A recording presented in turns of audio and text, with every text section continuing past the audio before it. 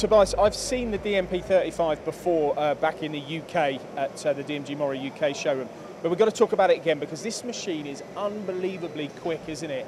Can you just describe, in your opinion, um, what this machine is and what it does? Yeah, this machine is our DMP35. It's for, it's for our medical customers because they need a quick machine, they need quick process, and as well a small footprint. And with the DMP35, we can realize all these requirements from our customers. We have a completely five-axis machine with a double torque table, so the A-axis and the C-axis are driven by, by direct drives. And we have a very fast tool changing process, around about 1.3 seconds for, for, for a tool change. Uh, in combination with our WH3 cell here, um, with the background magazine to enlarge uh, the, the volume of, of the tools, it's the perfect combination for our medical customers to help them to produce their, their products. I mean, that's the beauty of this. You, you got, I don't know how many tools in there as standard. Is it 24 maybe? or? Uh, this uh, is at the moment 25. 25, 25 but, but you can expand on that. and we can enlarge it up to 75 tools um, with this background magazine. And the WH3 cell can handle these tools as well as the parts.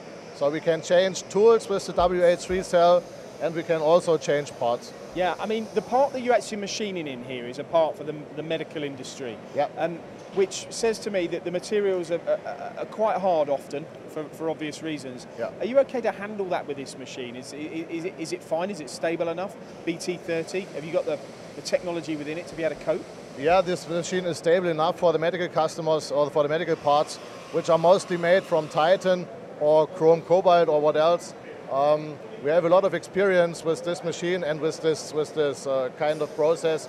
We have in Seebach we are uh, we have our medical excellence center with a lot of experience in medical parts, and they they know exactly what our customers need. And this machine is able to do the medical parts best as they can. The, is rich, the machine is rigid enough yeah, for this. And, and, the part in question takes about an hour, I believe. It's about it's about an hour to machine the component that it's doing, isn't it? So it's pretty quick as well because there's you know there's quite a few features. It's quite a, uh, a, a complex sort of part. Um, but to do it that quickly just shows how fast this machine is. Yeah, that's right. Um, we have tool change, or we, we can change the workpiece in roundabout. Yeah, it depends on, on, on the part, but I think round about uh, 20 seconds. Yeah, to, to change one part to another. And part. you have like a stacking tray system as well, don't you? So you can really, you could leave this running unmanned over a weekend, couldn't you? I That's right. That's right. We have a, yeah, a kind of magazine for parts, and uh, normally, when you compare or when you take normal part size for medical, you can bring 300 uh, uh, single parts in the storage, so you can run it. Uh, the machine can run over the whole weekend, and it depends on the runtime. Uh, also can run longer than five or six days.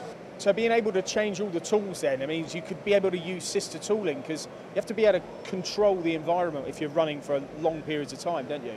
Yeah, that's right. With the process of sister tooling, we are able to keep a lot of simple tools in the storage that you can run over a long time and you do not have to change uh, uh the, the, worn um, tools at the end. Absolutely perfect for the medical sector. Yeah, that's right. Yeah.